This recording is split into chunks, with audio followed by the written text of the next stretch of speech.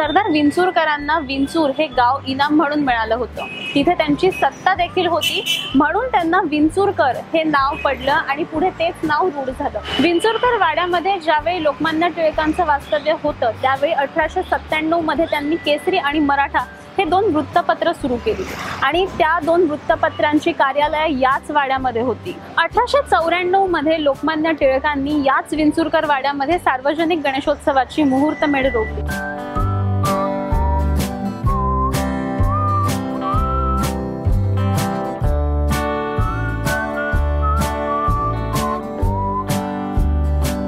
नमस्कार मी वर्षा. लोकसत्ता ऑनलाईनच्या गोष्ट पुण्याची या सिरीजमध्ये तुम्हा सगळ्यांचं पुन्हा एकदा मनापासून स्वागत. आज आपण आलोय पुण्यातील सदाशिव पेठेमध्ये. सदाशिव पेठेतील कुमठेकर रोडवर होता सरदार विंचूरकरांचा वाडा. त्या वाड्याविषयी आजच्या भागामध्ये आपण जाणून घेणार आहोत.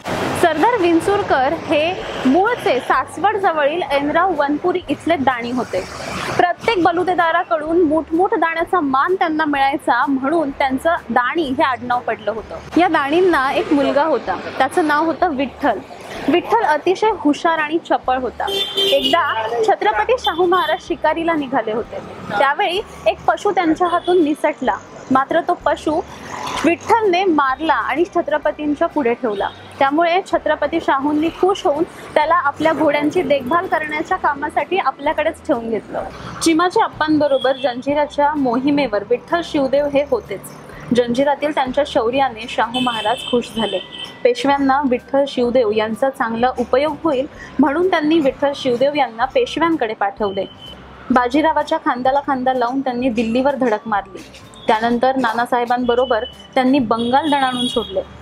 वसईच्या वेढ्यातही आप्पांबरोबर ते सोबतीला होते. पेशव्यांसोबत राहून बलाढ्य शत्रूंना टक्कर देणारे विठ्ठल शिवदेव हे विंचूरकर घराण्याचे संस्थापक होते. सरदार विंचूरकरांना विंचूर हे गाव इनाम म्हणून मिळालं होतं. तिथे त्यांची सत्ता देखील होती. म्हणून त्यांना विंचूरकर हे नाव पडलं आणि पुढे तेच नाव रूढ झालं. विंचूर या गावी त्यांचा शनिवार वाड्यासारखा भला मोठा वाडा देखील होता. शनिवार वाड्याच्या बांधकामानंतर आसपास इतर सरदारांची वाडे उभे राहिले आणि ते सगळे शनिवार वाड्यापासून जवळ आणि नदीपासूनही जवळ होते. सदाशिवरावांनी गावापासून थोडी दूर सदाशिव पेठ वसवली. वस्ती वाढावी म्हणून ज्यांनी तिथे घरं बांधली त्यांना काही वर्ष करमाफी देखील मिळाली. या सदाशिव पेठेतच विंचूरकर यांनी दोन चौकी दुमजली असा भव्य वाडा बांधला.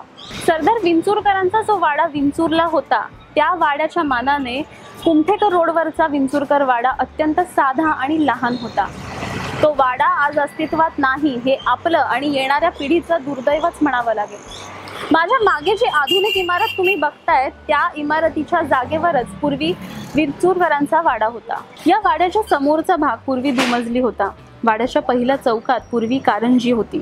चौकात उभं राहून वाड्याकडे दृष्टिक्षेप टाकला तरी वाड्याचे दोन भाग आहेत असं वाटायचं. वाड्याच्या मुख्य चौकामध्ये उजव्या हाताला पूर्वी दालने होती. या वाड्याच्या चौकाच्या पुढे गेल्यावर भोजनगृह होतं आणि भोजनगृहाला लागूनच देवघरही होतं. सर्वसाधारणपणे मुख्य दालनाला लागूनच पूर्वी देवघर असायची. मात्र या वाड्यामध्ये देवघर हे भोजनगृहाला लागून होतं. भोजनगृहाला लागूनच पूर्वी वाड्यात एक जिना होता. तो वर्षा मजल्यावर जाण्यासाठी वापरला जायचा. वर्षा मजल्यावर दिवाणखाना होता. हा दिवाणखाना विशेषतः असा आकर्षक नव्हता मात्र खूप मोठा आणि प्रशस्त असा होता. अठराशे ब्याण्णवमध्ये स्वामी विवेकानंदांची आणि लोकमान्य टिळकांची ऐतिहासिक भेटही याच विंचुरकर वाड्यामध्ये झाली होती.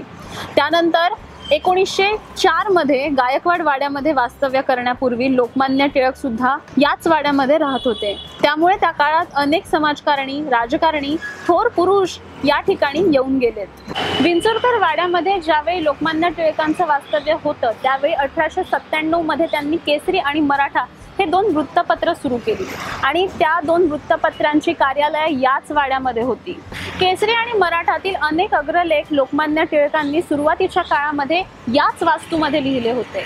अठराशे चौऱ्याण्णवमध्ये लोकमान्य टिळकांनी याच विंचुरकर वाड्यामध्ये सार्वजनिक गणेशोत्सवाची मुहूर्तमेढ रोवली.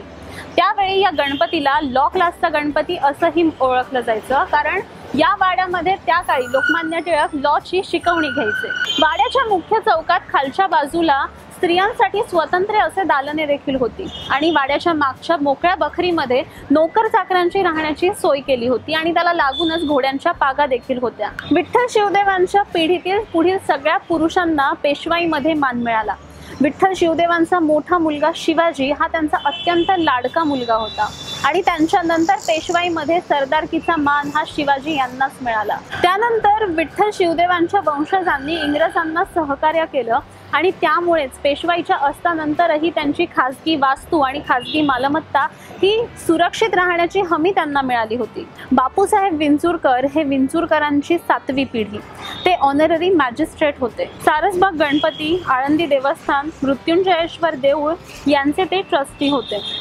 त्यांच्या अवकाळी मृत्यूनंतर त्यांच्या इच्छापत्रानुसार पुण्यातील वाडा त्यांच्या घराण्यातील त्यांच्या पुतण्याच्या मुलाला म्हणजेच मुरलीधर दाणी यांच्या कृष्णकुमार मुलास तो बक्षीस मिळाला. पुढील काळात वाड्याचा बराचसा भाग हा खादी ग्रामोद्योग मंडळाच्या कार्यालयासाठी दिला गेला होता. त्यानंतर मधुकर दाणी यांनी याच वाड्यामध्ये मंगल कार्यालय सुरू केलं होतं.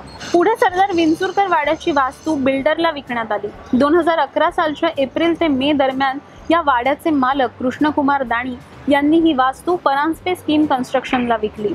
त्यानंतर मात्र या ऐतिहासिक जमिनीवर ही नवी इमारत उभी राहिली. मराठी साम्राज्याच्या शौर्य गाथेतील असे हे वीरपुरुष त्यांच्या वास्तुदर्शनानेही त्यांच्या शौर्याचा आलेख आपल्या डोळ्यासमोर उभा राहतो. अनेक ऐतिहासिक घटनांचा साक्षीदार असलेला सरदार विंचुरकरांचा वाडा आज अस्तित्वात नाही. ही अत्यंत खेदजनक बाब आहे.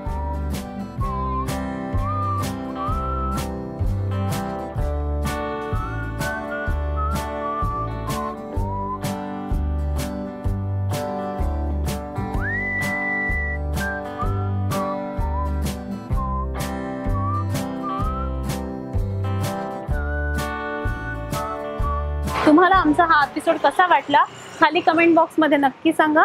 असे आणखी व्हिडिओ पाहण्यासाठी लोकसत्ता लाईव्ह चॅनलला सबस्क्राईब करा आणि बेल आयकॉनवर क्लिक करायला विसरू नका.